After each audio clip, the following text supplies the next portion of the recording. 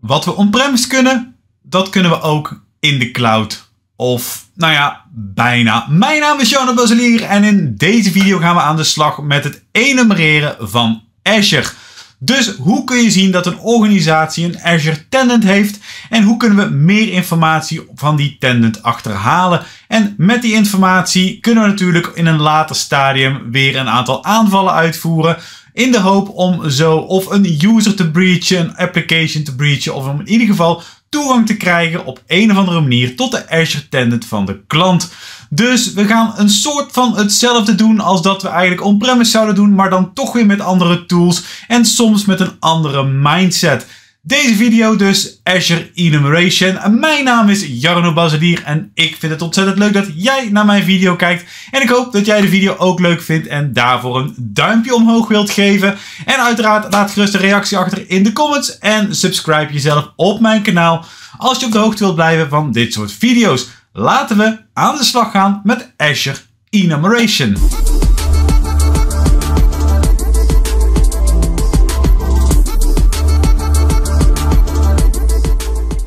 Wanneer we een red teaming opdracht uitvoeren op Azure en dan met name Azure Active Directory, dan is de aanpak niet zo heel erg anders dan bij een normale pentest. We beginnen namelijk altijd met een stukje enumeration en information gathering. We willen immers weten hoe het een en ander is ingericht en of deze inrichting potentieel de mogelijkheid biedt tot initial access. De technieken zijn niet zo heel anders, maar de tools verschillen wel. Wat uiteraard belangrijk is uh, voor de enumeratiefase, is dat we de Azure domain name weten. In ons geval weten we deze naam, dat is namelijk de volgende. Um, maar in de meeste gevallen is dit um, gewoon de company name. Dus stel voor dat mijn winkel zoete snoepjes heeft dan, uh, en mijn domainname ook. Dan zal zoete snoepjes de, het voorvoegsel zijn met daarachter onmicrosoft.com. En Microsoft op deze manier uiteraard. Weet dat default Azure domeinnamen altijd eindigen met onmicrosoft.com. Echter hebben de meeste bedrijven een CNAME DNS record in place waarmee ze hun eigen domeinnaam koppelen aan die van Azure. En dit betekent dat clients van de organisatie in kunnen loggen en in apps kunnen werken via hun eigen bekende domainname. Dus zonder onmicrosoft.com. Stel voor dat we normaal gesproken werken met zoetsnoepjes.nl en we koppelen deze aan Microsoft. Dan kunnen we ook met username zoetesnoepjes.nl inloggen in plaats van zoetesnoepjes.onmicrosoft.com. In de meeste gevallen is de Azure domainname dus gelijk aan de domeinnaam van het bedrijf. Een simpele enumeratie welke we uit kunnen voeren is de controle op valide e-mailaccounts en daarmee ook vaak beschikbare tenants en usernames. Wanneer we company e-mailadressen gevonden of achterhaald hebben via OSINT methodes kunnen we deze testen. En uiteraard kunnen we hier natuurlijk ook een stukje uh, trial en error in doen. We kunnen de normale domeinnames testen, uh, inclusief de voorvoegsels, zoals bijvoorbeeld admin, apenstaartje, postmaster, apenstaartje, etc. Dus uiteraard kunnen we ook nog eens de namen brute Maar laten we er maar even vanuit gaan dat we al het een en het ander achterhaald hebben. Um, dan kunnen we kijken of dat dit een geldige combinatie is en dat Microsoft ons laat inloggen op de portal. En de portal in deze is dan portal.azure.com. Dan kunnen we de inlog portal simpelweg gebruiken om te kijken of we inderdaad een valide username te pakken hebben. En vinden we een valide username, dan weten we eigenlijk ook zeker dat er een tenant actief is voor dit domein. Um, maar als we dan gaan kijken naar username.zoetesnoepjes.nl, dan zullen we zien dat deze username niet geldig is. We worden niet doorgelogd. Op het moment dat we wel een geldige username zouden hebben, bijvoorbeeld met een user uit onze eigen Azure AD, worden we doorgelogd en weten we dat we een valide user hebben. Dit kunnen we handmatig doen, maar uiteraard kunnen we hier ook tooling voor gebruiken om het een en ander te automatiseren. De meeste tools controleren de if exist result flag in de, uh, de, de browser traffic. Wanneer het e-mailadres bestaat, komt deze flag terug met een waarde van 0, 5 of 6. En naar aanleiding van deze flag weet je dus of een domainname beschikbaar is in Azure. En dat je een geldig e-mailadres gebruikt, welke vrijwel zeker ook gebruikt kan worden als een gebruikersnaam. We kunnen hiervoor een tool gebruiken. Uh, we hebben de meerdere uh, OH365 User Finder en ook de Office 365 Creeper. Laten we deze laatste eens gaan gebruiken. Dit Python script stelt ons in staat om één of meerdere e-mailadressen te controleren op de geldigheid ervan. En om dat te doen gaan we heel even naar software, naar O365 Creeper. En dan gaan we dit Python script gebruiken. Office 365 Creeper, natuurlijk met een kleine O, zo op deze manier. Om een specifiek e-mailadres te verifiëren, laten we nog eens username met zoete snoepjes doen.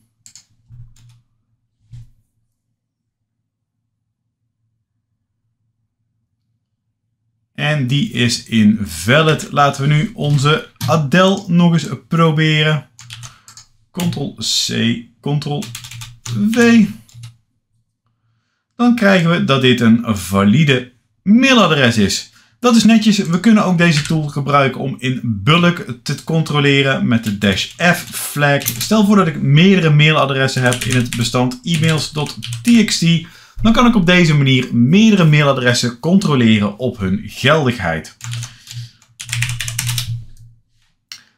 Een andere controle die we kunnen doen op dit moment is om te kijken of het bedrijf een Azure Tenant heeft. En dat is door een DNS lookup te doen. Wanneer een custom domain name gebruikt wordt, is de kans groot dat er een verificatie TXT record aanwezig is, welke begint met MS is. En dit record wordt na de verificatie bijna nooit weggegooid. Dus daar kunnen we op controleren in DNS. En wanneer Exchange Online gebruikt wordt, is er waarschijnlijk ook een MX-record beschikbaar, welke protection.outlook.com bevat. Dus we kunnen een simpele NS lookup gebruiken om deze controle uit te voeren. Dat ziet eruit als NS lookup, waarbij we de set query gaan zetten op een TXT record om te kijken of er inderdaad een MS verification record aanwezig is. En laat ik dan mijn eigen domeinnaam eens pakken. Dan zul je zien dat er inderdaad een MS Verification record aanwezig is. En dus dat er waarschijnlijk inderdaad een Azure Tenant op jarnobaselier.nl staat. Laten we dan de query eens veranderen naar MX. En we gebruiken dan nog een keer jarnobaselier.nl dan zie ik er geen protection.outlook.com in terug. Dus waarschijnlijk gebruik Jarno Baselier geen Exchange Online. Een andere welke dat waarschijnlijk wel doet is rabobank.nl. En laten we hier eens kijken naar wat erin staat. En inderdaad, we hebben een MX-record verwijzende naar peel.protection.outlook.com. Dat is de DNS-controle. Een andere controle die we kunnen doen is de controle of Office 365 instances beschikbaar zijn op het domein. En dit kunnen we simpel doen middels een URL. En deze URL die ziet er als volgt uit. Laten we de browser eens starten. Dit is de volledige URL waarbij het belangrijk is dat we dit gedeelte invullen waarbij alleen de domain belangrijk is. Wat er voor het apenstaartje wat minder.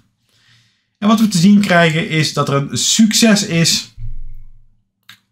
Uitklappen. En dat we hier een managed namespace hebben. Wanneer hier een node staat, dan kunnen we aannemen dat er geen Office 365 instance beschikbaar staat. Maar hier, als er managed staat, dan is er wel een Office 365 instance beschikbaar.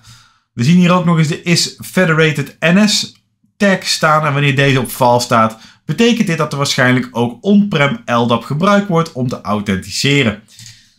Laten we dit nog eens proberen met zoete snoepjes.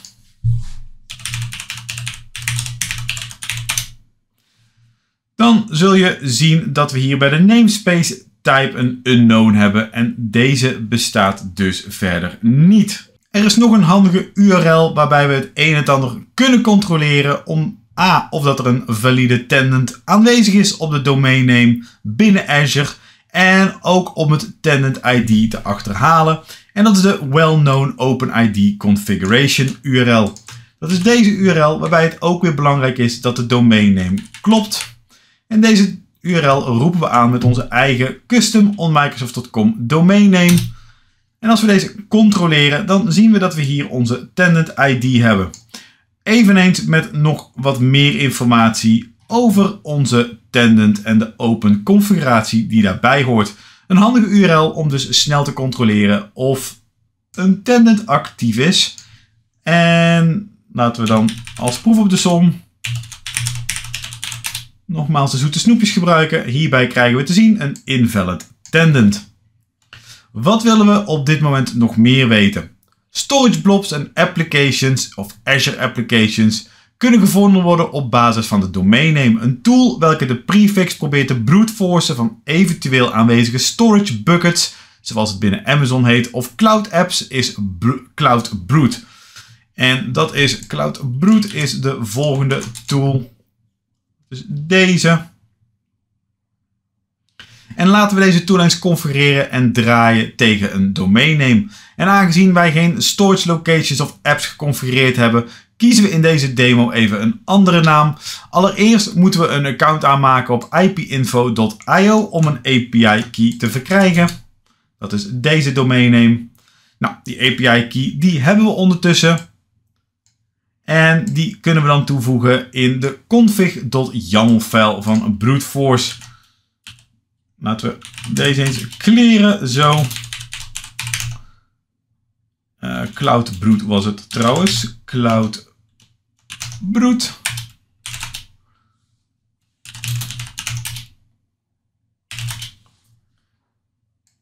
En we kunnen onze API key toevoegen aan de config .yaml-file. En dan hebben we eigenlijk onze basisconfiguratie voor CloudBrood compleet. En daarna kunnen we de tool draaien. De tool kijkt automatisch welke cloud provider er gekoppeld is en probeert vervolgens verschillende variaties uit om een beschikbare application of storage location te vinden. En werkt dus niet alleen voor Azure, maar ook voor Amazon, Google, etc. Dus laten we eens um, CloudBrood uitvoeren. Die bevindt zich volgens mij hier inderdaad, we doen Cloud Brood met als domain name. Pakken we nu centraal beheer. .nl met als keyword laten we prot van productie eens toevoegen. Laten we zoeken naar storage accounts. Met een timeout van 80 10 threads tegelijk. Um, en als wordlist gebruiken we de standaard wordlist die aanwezig is in data. En die heet dan storage small.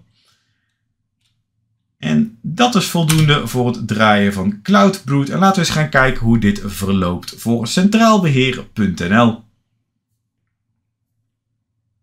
Zoals je ziet duurt de scan eventjes. Um, we krijgen al wel meldingen.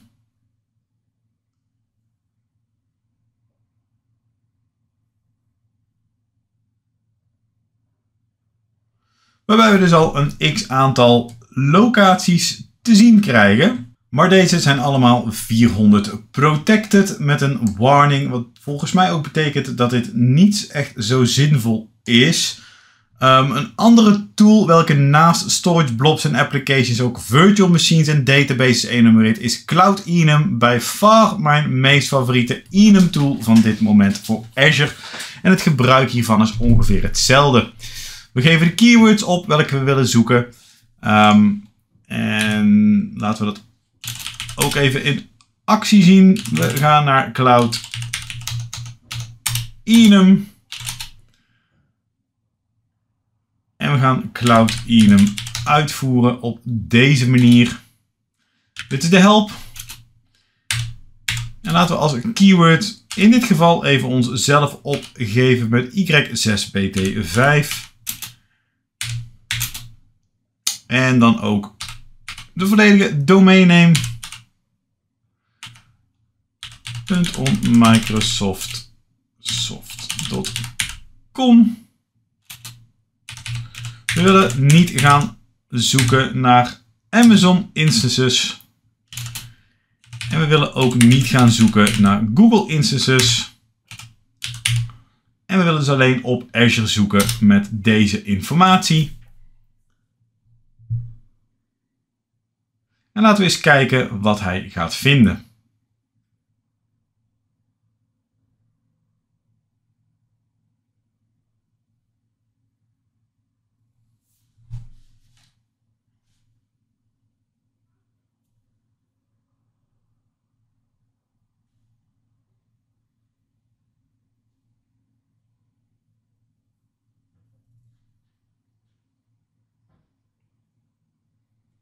Dit alles levert uiteraard niet al te veel op, omdat wij op onze instance nog maar heel weinig hebben staan. Dus geen applications waar één storage blob, um, nee zelfs geen storage blobs op onze omgeving. Dus uh, ook die gaan we niet kunnen vinden. We hebben geen applications, geen websites.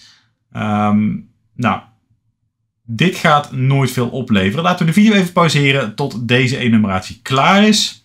En dan proberen we het nog even met een andere domain name. Zoals je ziet levert dit niet al te veel op. We zoeken namelijk naar groen en er is weinig groen, dus niks gevonden. Um, laten we dan centraal beheer nog maar als voorbeeld stellen. Om te kijken of dat we daar iets meer van kunnen vinden. En ook nu zet ik de video even op pauze en laat ik hem lekker zijn enumeratie uitvoeren. En de resultaten zijn terug met niet veel, maar wel één groene regel. Er is namelijk een Register Azure website gevonden, genaamd Centraal Beheer devazurebwebsites.net. Dus een zeer waardevolle tool voor het enumereren van Azure diensten, welke luisteren onder een specifieke domain name. Wanneer we op een gegeven moment beschikken over credentials, en dan hebben we nog niet over het brute van credentials, maar stel voor dat we beschikken over credentials van een gebruiker, dan kunnen we nog meer informatie achterhalen. En een goede tool om dit te doen is de Office 365 Recon Tool. En laten we dus vanuit gaan dat we een setje user credentials hebben van een user welke eveneens kan inloggen in Office 365 dan kunnen we best wel wat informatie achterhalen met de Office 365 Recon tool. Dat is de volgende. Deze tool. En zoals je ziet is het een PowerShell script. Dus laten we daarvoor onze Commando VM machine eens openen. En de Office 365 Recon tool staat hier op de desktop. En als we de tool dan uitvoeren. 365 Recon PowerShell. En we gaan hem uitvoeren op Azure. Dan krijgen we vanzelf een inlog prompt waar we gaan inloggen met onze client 01 user.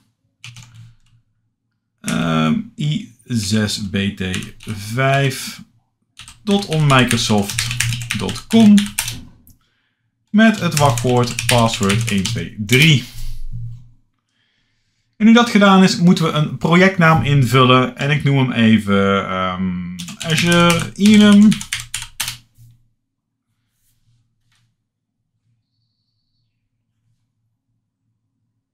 En zoals je ziet wordt er ontzettend veel informatie achterhaald over de complete omgeving.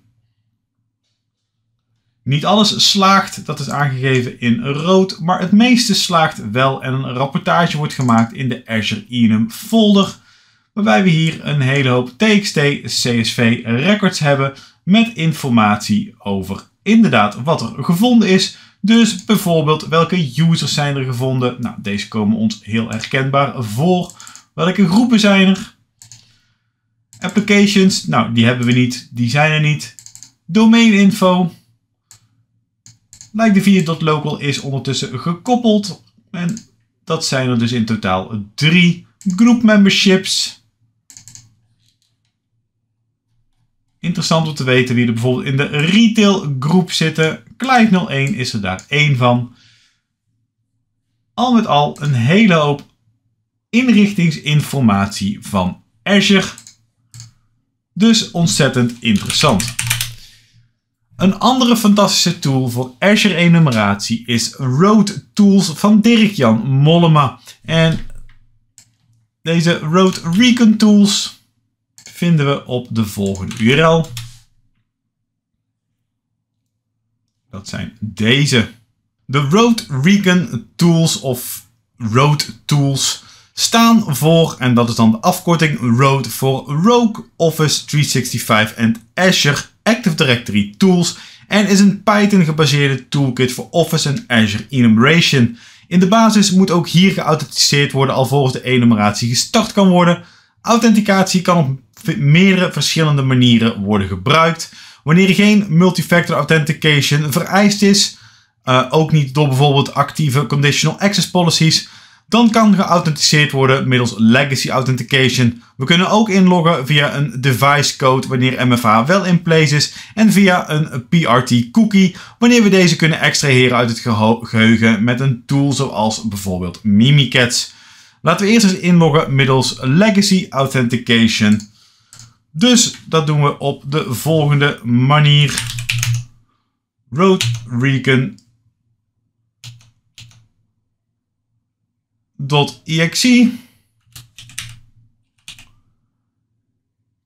Nu vraag ik mezelf overigens af om RoadRecon niet op de desktop staat. RoadRecon is volgens mij geïnstalleerd op deze machine.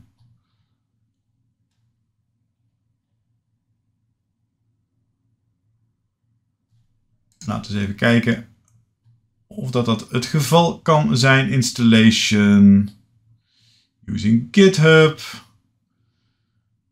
Python Toolkit en is inderdaad geïnstalleerd met pip install. Dus we kunnen deze gewoon gebruiken. Dat betekent dat we een road recon kunnen uitvoeren met een authentication flag om te authenticeren middels legacy authentication. En de user die we daarvoor opgeven is client 01 at i5, nee i6 was het, i6 bt5 dot on microsoft.com met als password password 123. Laten we eens kijken of dat dit werkt. Jazeker, dit werkt. En de tokens die we hebben gekregen worden geschreven naar Road Tools Authentication of Auth. En aangezien deze stap succesvol is, kunnen we doorgaan met de verdere enumeratie. En dat doen we dan met Road Recon Gather. Simpelweg, niet moeilijker dan dit, maar wel belangrijk dat we dat juist schrijven. Zo. En ook nu wordt weer een hele hoop informatie verzameld. En als de data verzameld is, en dat is hij, dan kunnen we deze data inkijken via een speciale GUI. En dat geeft net wat meer of wat makkelijker inzicht in de data. En om die GUI te starten doen we heel verrassend weer Road Recon, maar dan met de GUI tag. En met een beetje mazzel luistert onze lokale server hier. En hebben we dus inzicht in deze data. Wat zien we hier? We zien hier een aantal statistieken vanuit de database met een hele berg service principles. We hebben mijn tenant ID, mijn naam en een aantal domains. En hier kunnen we weer netjes door het aantal users heen scrollen. Groups, devices die er niet zijn, een aantal directory roles, applications die er niet zijn, service principles, nou die zijn er uiteraard maar genoeg. Application roles en OAuth 2 permissions. Interessante informatie, makkelijk beschikbaar via een GUI. We kunnen eventueel ook gebruik maken van plugins zoals Bloodhound om de data te analyseren in Bloodhound. Let op, we hebben hiervoor wel een speciale versie van Bloodhound nodig. Dat is deze.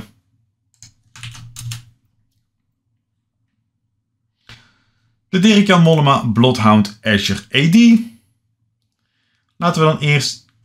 Kunnen we dit doen? Dit kunnen we ook wel even doen. Um, hiervoor kan ik, nou laten we een nieuwe PowerShell gebruiken. En laten we dan eens gaan naar de map waar de Bloodhound in zit, naar c.slash programfiles. En dan Bloodhound Azure AD Master, denk ik. Of was het zon, zonder, denk ik. Niet. Oké. Kali, jij mag naar de achtergrond. Zo.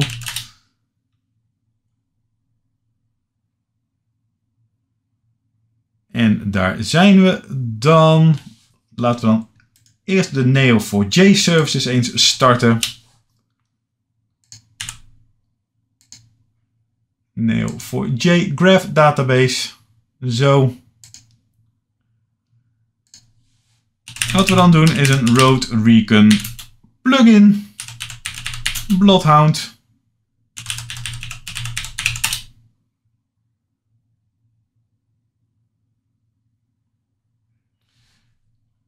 Het zou zomaar zo kunnen zijn dat ik dat in de Road Recon folder moet doen.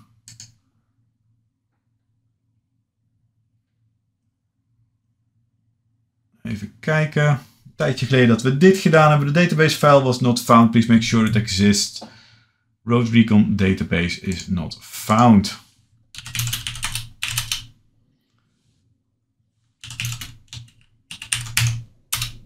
Road Tools. En hierin bevindt de Road Recon database zich. Laten we nog eens proberen om de Bloodhound plugin te starten. Hij connect met Neo4j. Hij runt zijn queries. En hij is done. Dat is netjes. En het laatste wat we dan moeten doen is Bloodhound runnen. En dat is een npm package. Dus we doen npm run de development versie van deze Bloodhound. En het zou mooi geweest zijn als het inderdaad zou lukken. Dat doet hij niet. Even kijken waarom niet. This is related to npm, not being able to find file. Wellicht moeten we dit dan toch weer in de Bloodhound folder doen. Dat ziet er beter uit. Daar komt onze Bloodhound aan. Uit ervaring weet ik dat het laden van deze experimentele Bloodhound, of deze Modified Bloodhound, wel eventjes kan duren. Dus laten we... Oh, daar is hij al. Hartstikke goed. Dan gaan we niet door en dan kijken we eerst even naar de vergaderresultaten, maar dan in een Bloodhound view. Um, helaas, no data returned from the query.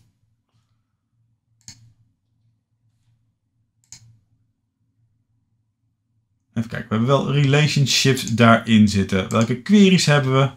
Nou, het ziet er nou uit dat de informatie wel in de database zit. Dus find all Azure role members, die hebben we hier. En dat laat zien dat de admin superuser inderdaad een member is van de Global Administrators. Dat is interessant. Find shortest path to domain admins. Select a domain admin group. En ik krijg geen keuze om iets te selecteren. laat al zien dat het niet helemaal vlekkeloos werkt. Maybe een andere.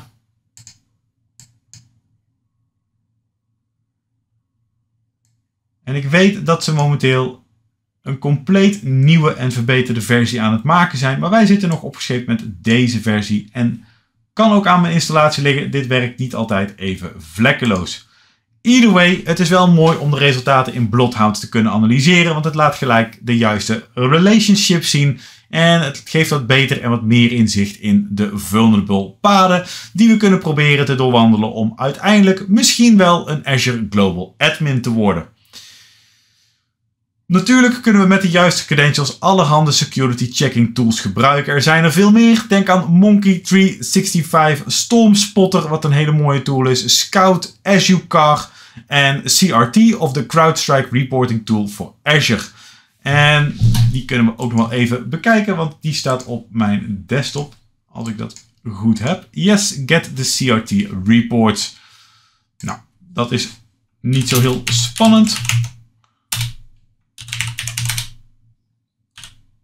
Wanneer we doen get CRT report PowerShell en we doen eerst een basic authentication om onszelf te authenticeren. Dan doen we weer client 01 at i5 pt6 was het.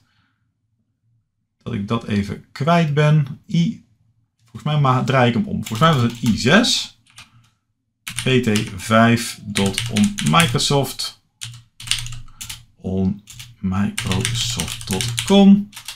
En als wachtwoord password 123. En als ik dat goed heb gedaan,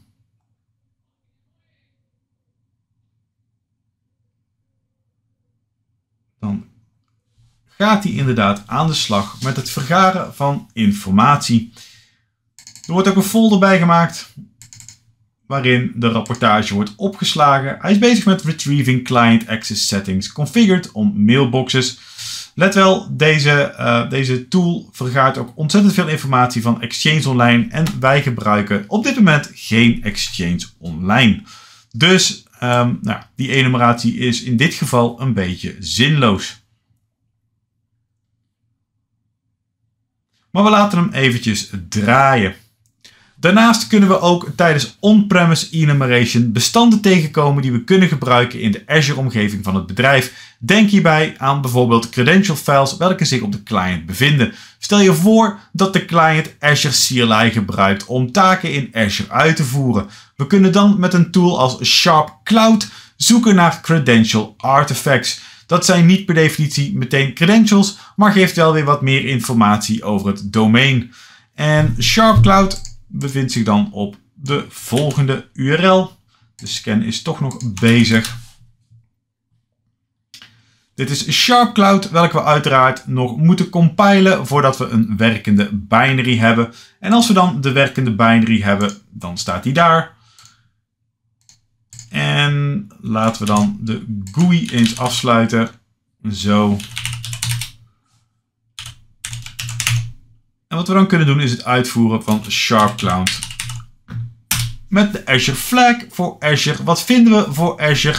Nou, we vinden inderdaad een Azure Profile waarin onder andere een Installation ID staat, een Tenant ID staat, namen van de subscriptie, daar is trouwens onze Tenant ID, en nog wat meer informatie. En in sommige gevallen kunnen we hier ook nog credential files mee vinden. En tenslotte een ander commando wat me te binnen schiet is wanneer we willen kijken of een client misschien Azure Joint is. Dan kunnen we het volgende commando uitvoeren. En dat is de dsregcmd.exe. En dan kunnen we daarvan de status opvragen. En in dit geval, ons device is niet domain joint. Geen Azure AD user, geen Azure policies enabled. Nou, wel postlogon, een device eligible en session is not remote. Dat klopt allemaal. Maar hier kunnen we dus vrij gemakkelijk terugvinden of een device ook werkelijk uh, Azure Domain Joint is.